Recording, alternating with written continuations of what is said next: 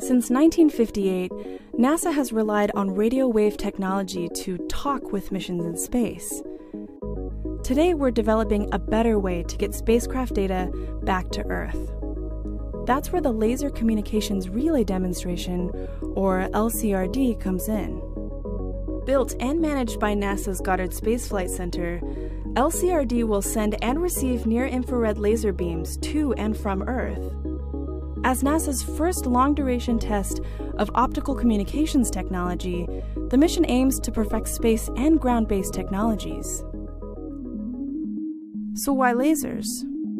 Laser communications can transmit up to 100 times more data per second than previous systems by using a shorter wavelength of energy. With this increased bandwidth, missions can send larger files and even live high definition video from space.